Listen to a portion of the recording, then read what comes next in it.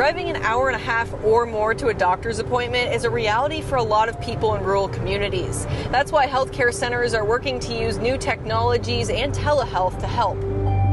Mr. Kevin, how are you feeling? This is a demonstration Can you please raise your right leg up for me? of how a patient in a small town who experienced a stroke can be seen by a neurologist hundreds of miles away in a matter of minutes. We uh, think this is, uh, you know, uh, acute stroke going on right now. We can uh, get the same level of care as we do uh, in any uh, primary hospital. Dr. Murali Kolikonda is a neurologist with Baptist Health Lexington. So can we just start uh, getting some scans on him? Yes, sir. I'll get some orders in. He makes sure patients in rural areas receive the same quality of care even without the same resources.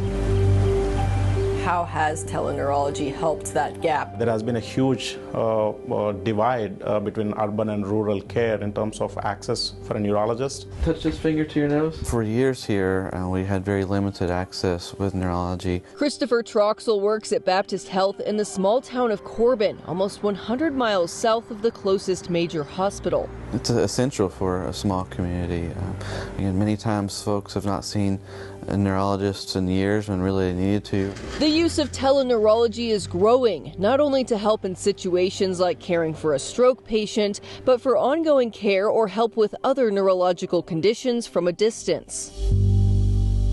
We're finding that 40 to 50% of patients can be cared for locally without even having to be transferred to a major tertiary center. Teleneurology isn't a solution to everything, It still doesn't replace a bedside exam. Can you please raise his leg up for me? and certain tests and procedures may require an in person visit, like a CT scan. Okay, thank you. Can you please do this with this hand? Regardless, it helps for a specialty already stretched thin. We have a shortage of neurologists worldwide. Why do you think it might be difficult to get a neurologist here, you know, on staff? Uh, we've been recruiting uh, on and off for a neurologist for, for years, but uh, it is very difficult to recruit to a, a small rural area. Looking at the blood vessels to see if there's a blockage. Neurology is just one example of how advancing tech can better health care everywhere. It has improved the outcomes. Even here in a rural area where folks are often resistant to change or resistant to technology at times,